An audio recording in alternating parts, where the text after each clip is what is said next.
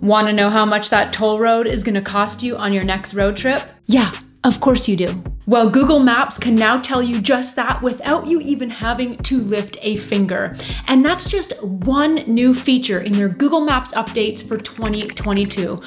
Ooh, I just love a good Google Maps update.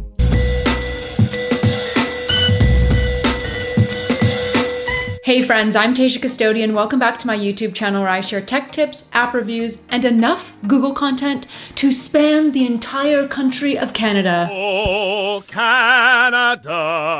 Today, I'm sharing the best Google Maps updates 2022 that apply to both Android and iOS. These updates are game changers. Let's go.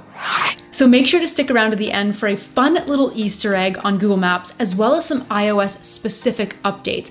But for now, let's dive into the new layout and themes found on both Android and iOS.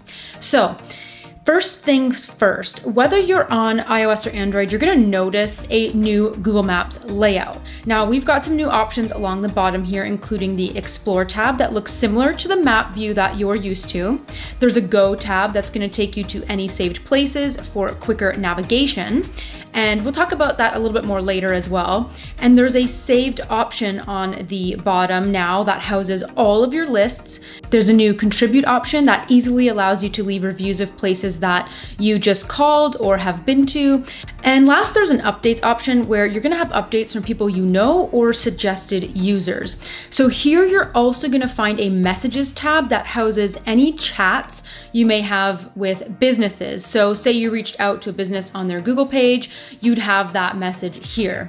But let's head back to the Explore tab for a minute because you may notice something new in this map view. You've got cards now that you can pull up on that shows you the latest updates happening in your area. So these updates are from local guides and other Google users that add photos and reviews. And you can follow any of these people too if you wanted to, which by the way, if you don't like this new view at the bottom, you can just swipe down on it and it'll go away completely. All right, moving on to the next Google Maps updates. Google Maps has now added more map details like stop lights and stop signs, but they've also made other details more accessible too. Again, this is both for Android and iOS. First, when you enter a destination and begin the navigation process, you're now gonna have stop lights and stop signs added to your map automatically. This is really helpful if you're navigating in an unfamiliar place. But you're also gonna have other map details now, like building outlines and areas of interest. But let's get out of our navigation for a second, because if you tap on the icon that looks like a diamond layer shape, you're gonna open up map type and map details. So here you can easily pick between default satellite and terrain, which is nothing new per se, but underneath that we have more map details.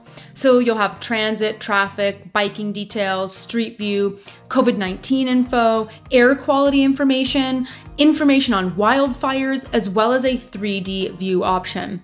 So as an example, let's tap on air quality.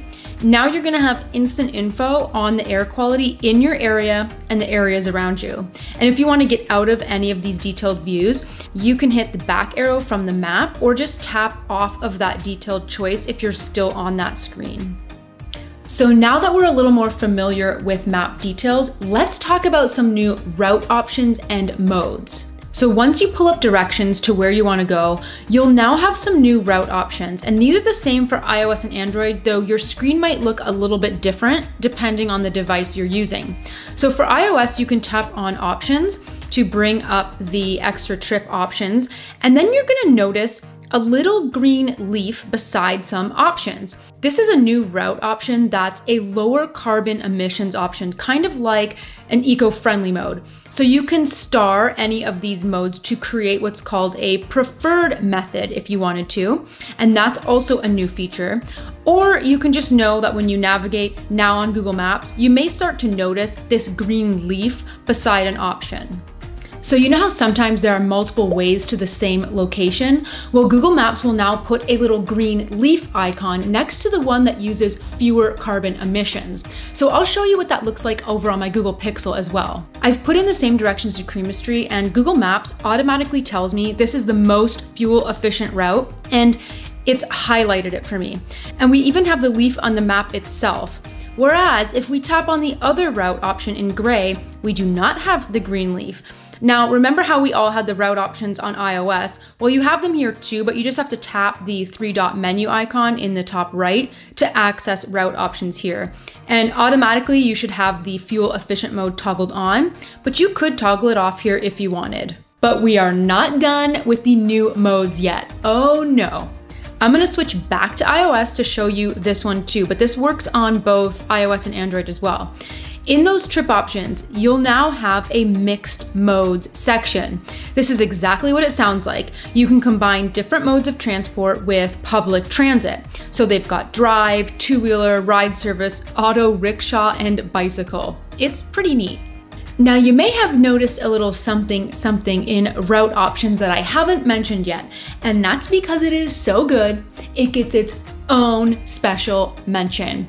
Google Maps can now tell you the price you will pay on toll roads. So now when you're planning out your next road trip, you'll know if it's worth it to take that toll road option. So again, this works on both Android and iOS, but I wanna show you how I used to set up my Google Maps app on iOS and what I do now instead.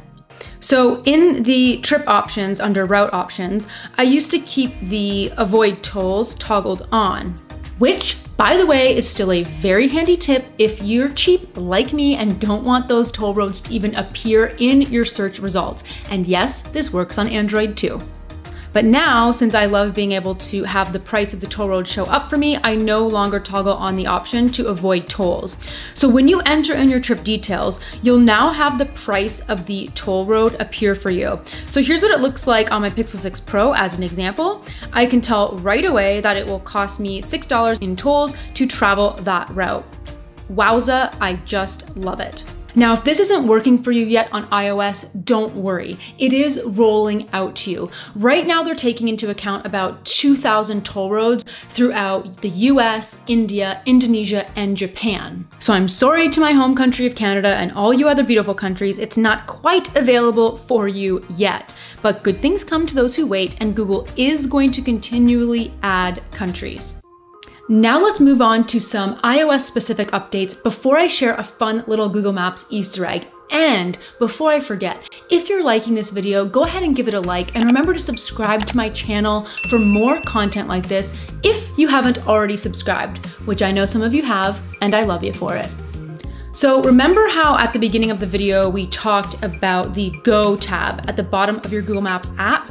Well, Google Maps has now made a new planned trip widget, and with that installed, you can easily access trips that you've pinned in this Go tab right from your home screen. So from your home screen, swipe right until you get to your widgets and then scroll down to the bottom and tap on edit. And then tap the plus button in the top left to add a widget and do a search for Google Maps. The first option that comes up is the real-time trip info widget, so tap on add widget to add that to your home screen. Now, if you tap and hold on the widget, you can choose which planned trip you'd like to navigate to. Then once that's all set, you'll have your arrival time and then even some more details depending on your navigation route. You don't even have to go into the Google Maps app if you don't want to. Then if you actually tap on the widget, Google Maps opens up automatically to that planned pinned destination. You can now also begin navigation directly from your Apple Watch if you have one. You no longer have to do so from your iPhone. Plus, you'll soon be able to add Google Maps shortcuts for Apple Watch, as well as be able to pull up Google Maps directly from Siri. The new Siri functionality should be rolling out around the summertime. Okay, we finally made it to the fun Easter egg I have been talking about. If you are a fan of The Simpsons, or you remotely know what I'm talking about, you can actually find the presumed real-life Simpsons house on Google Maps. That's right, it's rumored the original Simpsons house, or what I like to call the Simpsons IRL, is found in Henderson, Nevada. Now I'm gonna show you search results here, complete with a couple of old photos, one that has been edited to look even more like The Simpsons house. Now, in the spirit of not doxing people, I'm not gonna post the address for you, but if you really want to see it for yourself, a quick Google search will show you how. So those are all the Google Maps updates for 2022. And now I want to hear from you. What are your absolute favorite Google Maps updates and why? Let everyone know in the comments below. As always, thank you so much for watching. If you like this video, well, I want to know. So give it a like, a share, or leave that comment below. You can click right about here to subscribe to my channel and here and here for even more Google Maps content. There's so much of it and also linked below as well. Thanks so much for watching. See you next time.